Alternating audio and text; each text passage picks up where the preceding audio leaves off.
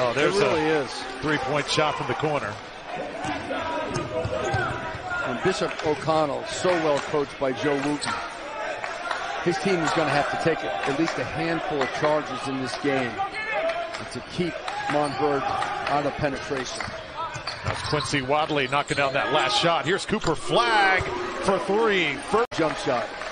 Quincy Wadley again. Wadley going to town. Five-star player.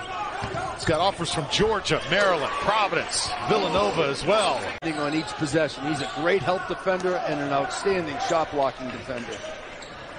Gibbons out to McNeeley. Alley-oop time to Cooper Flagg. Not only this year, but in the future. McNeeley. Top of the key. That one comes off strong. And now Cooper Flagg has it for the Eagles. Flagg wants to go to the rim. Oh, That's the way you got to blow by people. You got to get low on the offensive end so you can finish tall and strong. Tall and strong. And Cooper's 6'9". Watch this pass.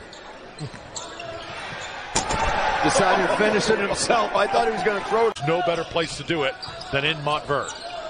And, and you're ready to buy in, too. Because Yep. if you come here, you may not have the same role you had in high school.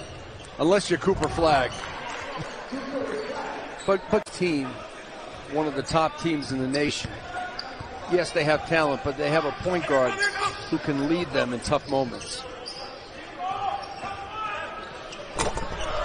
Oh, did he just do that? Just- And you're also building for the future, meaning that, oh, there he is again.